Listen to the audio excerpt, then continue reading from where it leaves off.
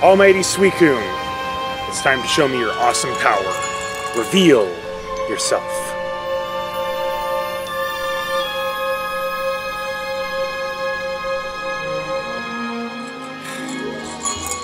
I really thought that would work.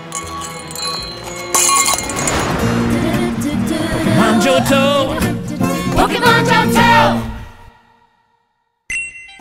Hello everyone and welcome back to Every Pokemon Ever. Last time we saved the world from Team Rocket's evil doings once more and got a rare prized possession in return. A clear bell. A literal jingle bell that looks like it came from the 25 cent bin at Hobby Lobby. Ah, get it? It's a joke. As if Hobby Lobby would stoop so low as to have a 25 cent bin. Yeah. Anyway, before we start the video, I will note now, as always, that we have explored glitches to clone Pokemon and items, as well as how to access the time travel function, and we may use both of these methods moving forward. After wrapping up in Goldenrod City, Anthony, man, I told you not to call me at 2 a.m. Let's soar back over to Mahogany Town and continue our trek eastward. That rage candy bar salesman has evaporated, and the psychic guy gives a prediction. Fortune tellers, let me tell you, they have horrible success rates. We can surf around here to capture two Poliwhirl. Why do we need two? Well, you guessed it. Poliwhirl got a new Evo in the Johto games, and the world is a better place because of it. Heading over to the tall grass, I also managed to find a Lickitung, two Weepinbell, and a Tangela. Then it's time to put on your jackets, because we're diving into the frosty, icy path. Brrr. Once again, let's give a huge shout out to those literal descriptive location names. Yeah, yeah, good job, guys. There are more ice skating puzzles in here, nothing too fancy. We can start off by grabbing a Swinub up here, and then tackle our first slippery maze. Our end goal is right above where we start, so if we move slowly to the left and hit the rock over here, there,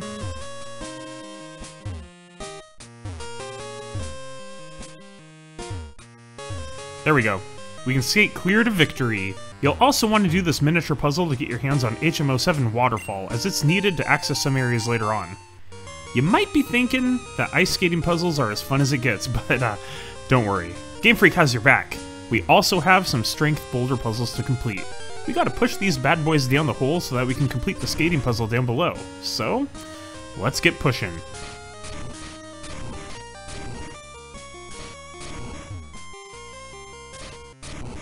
Got one. Most of these are fairly simple.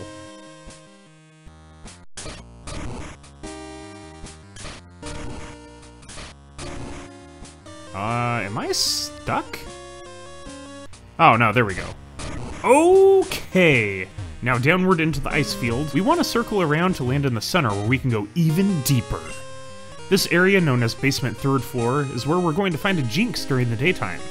Notice she is purple now, in the US at least. You could have caught her further up in the cave, but then the catch rate is 1%, and I have Dunsparce PTSD, so it's a little better down here. We can then time travel to nighttime to find a Sneasel while we're down here, and everyone's favorite present-wielding owl thingy, Delibird. Alright, enough dinking around in here. Let's elevate ourselves out into the moonlight to reach the secluded Blackthorn City. You for noticing, random lady NPC. I am a hotshot trainer. Ah,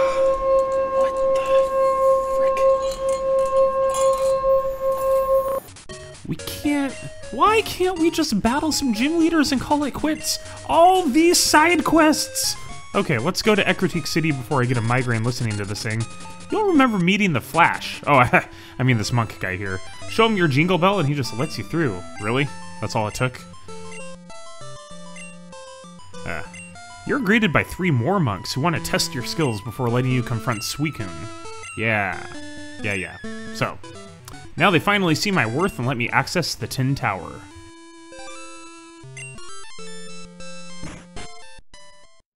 The dog boys have been hanging out here the whole time. No wonder I haven't seen them around.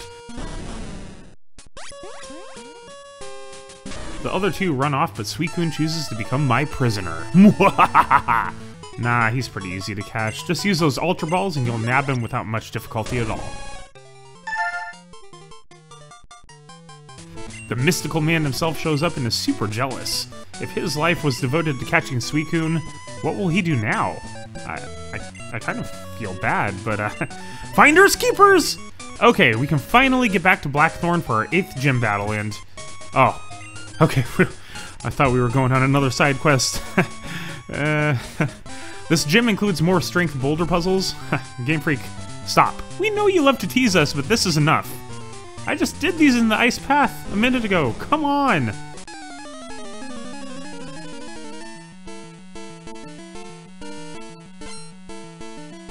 Cool Trainer Cody? I can't tell if this is another Cody or if this is me from an alternate distant future. Only time will tell. Judging by his party choices, this is and never will be me. Seadra? Really? But I'm still a cool trainer. We finally reach Clair and pound our dragons into the ground with the help of our new glowy dog boy. And we got our final badge. Wait, what? What?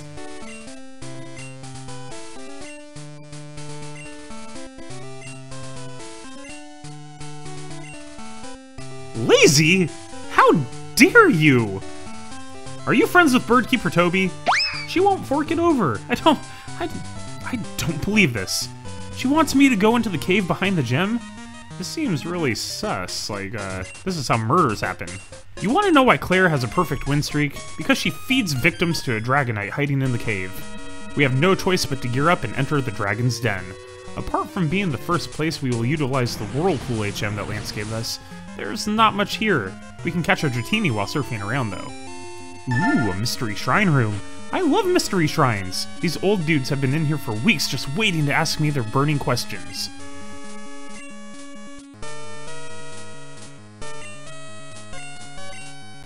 The most important thing to me is actually pizza. Don't tell anybody. Hopefully I did a good job.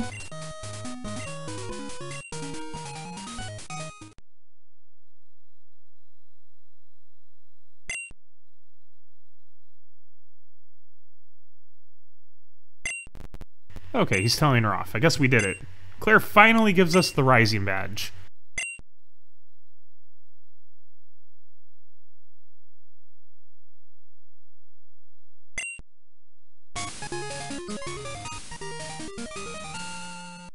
We are ready, ladies and gents. It would seem that the last thing to do is head south to Route 45 back to New Barktown, and then show our badge collection to Professor Elm. First, let's pop in this hole and enter this side of Dark Cave. Remember Dark Cave? Notable as the place where I spent three years trying to catch a Dunsparce? Anyone? Well, this is how this side looks. Also dark, unless you use flash. The only reason to come in here is to catch an Ursaring during the day. And if we time travel, tonight we can find the fabulous Wobbuffet. Sure, there are some items hiding in here, but who cares? Let's get back out to Route 45 and catch some new Pokemon. In the tall grass, I managed to find several new species, including Donphan, Graveler, Gligar. No, not that, not that. The Pokemon Gligar. And a flying piece of sheet metal called Skarmory. Okay, so instead of traversing Route 45 and 46 down to New Barktown, we're gonna cheat and just fly straight home. Boom! We should probably stop in and check on our mom, but nah! Let's go talk to Professor Elm.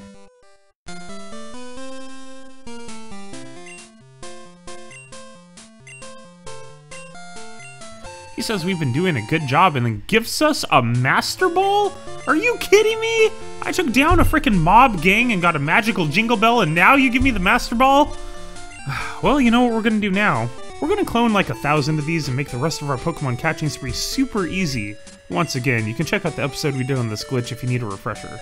Okay, so now I'm feeling pretty unstoppable. Let's swing by the daycare really quick and drop off Jynx with our breeding stud, Ditto. Because there's a new Pokemon we can get from doing this. While riding around waiting for Jynx to make babies, I finally got my Cyndaquil to hatch, officially adding it to my in-game Pokedex since the original was a clone. There's the daycare man. We can grind out this egg by biking through Goldenrod and finally get our hands on Jynx's unnecessary pre-evo, Smoochum!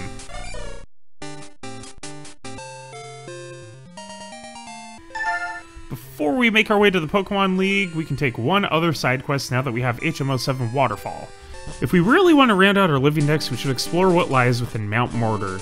You may remember we caught a Marill here once upon a time, but there's much more to do here, and now would be a good time to tackle it. As you may recall, the cave entrances lie just east of Ecruteak City on Route 42. We're gonna go for this one here. Inside, we can hop aboard our trusty Marill and surf around to find a Seaking. Then climb up the waterfall to reach this high cave door.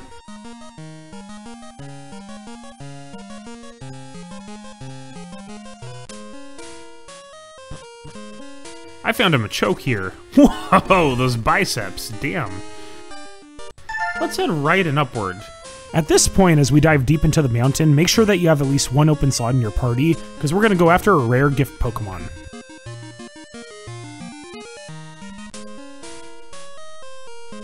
Then let's move all the way to the left and surf some more. Then around this way to a ladder. Grab this escape rope, we're gonna need it to get out of here with all these twists and turns.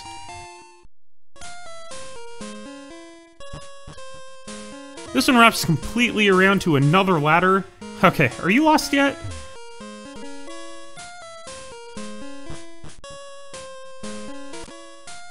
Hiding in here in the depths of this rock, we find our old friend, Daniel LaRusso, Karate King.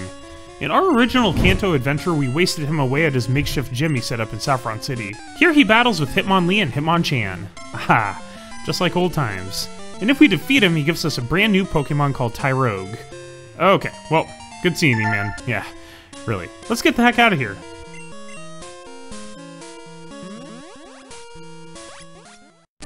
Now, you may have seen that I like to dilly dally while trying to reach the next area, so I thought now might be as good of a time as any to finally explain some more detailed headbutt mechanics. As you spot these little trees around and desperately whack your Pokemon's head against them, you might never come across certain rare Pokemon like Heracross unless you know exactly where to look. It turns out headbutt trees have their own little mathematical configuration, and certain trees are dubbed as rare locations or not, based completely on your trainer ID. That's right, another gameplay mechanic! Before you get too distressed though, a helpful person named T Shadow Knight made a helpful online tool that does all of the work for you. You godsend. I will link this tool in the description below, and by simply plugging in your ID and your location, you can find red star or rare headbutt trees to obtain these Pokemon. Since this is my tree, again, you probably won't have luck at this exact spot unless your ID is the same as mine, I managed to shake out an Aipom, and finally the honey guzzling Heracross. Alright, that's all we can do for now. Time to move on. Cody, meet me in Victory Road, if you dare. We need to settle this once and for all. Figure out who the strongest trainer really is. See you.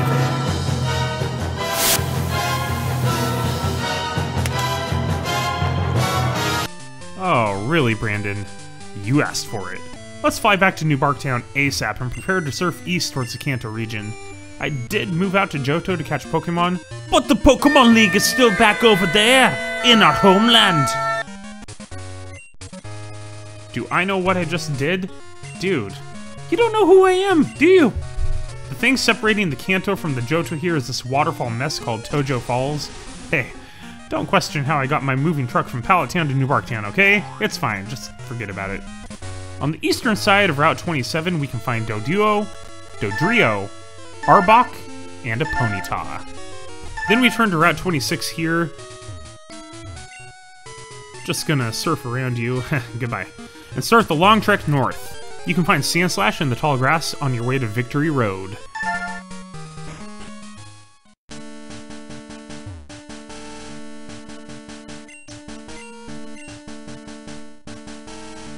Whoa, did the Pokemon League get new hallways? no one will let me through, though, for now. The only new Pokemon for us in here are Rhyhorn,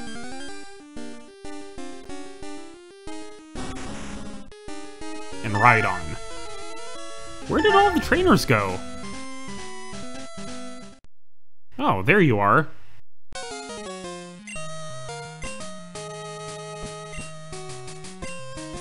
He's so salty nowadays. I miss the old Brandon, the one with short hair. The battle is no contest at all. Our Typhlosions duke it out to see who can Typhload the best. It's... it's me. If you were wondering. Brandon vows to beat me one day and then walks off into the sunset. Well, into the darkness. We're in a cave.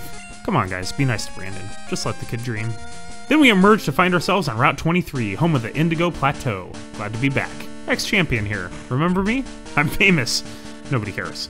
Stock up on all the items you need here because the Elite Four can be pretty daunting. Remember, you can also clone either nuggets to sell for money or straight up clone helpful items like revives. Okay, time to see how the Elite Four has changed since my reign. The first battle will be.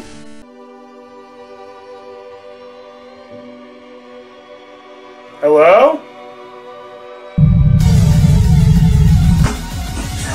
Cody, I see we finally meet again. Will? I hope you're ready for a quick and painless death. What? My Pokey Battle, of course. What? Wow! Just wow, it's Will! If any of you have watched every Pokemon ever since Series 1, you may or may not remember my childhood friend here. This is crazy how far we've come. The reunions don't stop there either. We get to see Koga, who used to run the Fuchsia City Gym. I guess he got a promotion? Bruno's still putzing around here. And then the final member is. Karen? You may need to lie down because I am. Cody, Uh, hello. keep training. You might become a Pokemon Master. What? What? What are the chances that a gorgeous babe not only sits on the Elite Four but knows my name? Whoa, oh, this might be the happiest day of my life. Have a fun filled, joy filled, inspired, spectacular, exquisite day.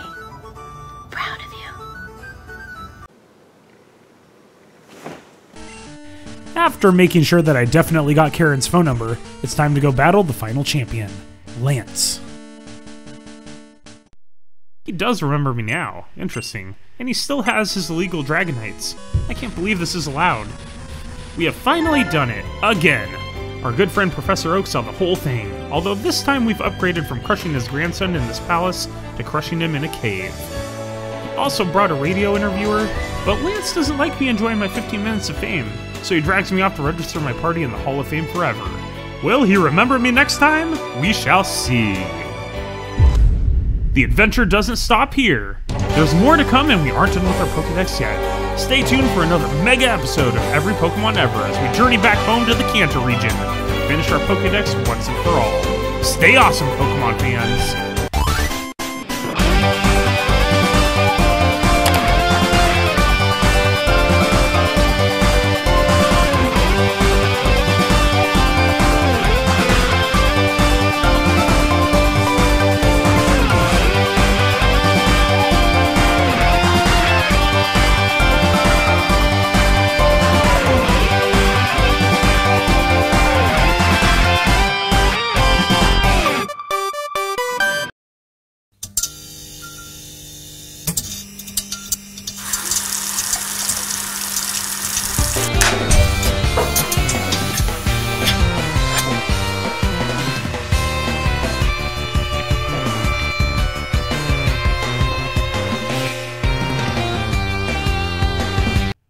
Pokemon Ever is 100% non-profit, by the fans for the fans, but there is a way that you can help out. We're supporting St. Jude Children's Hospital. Donate today and help end childhood cancer.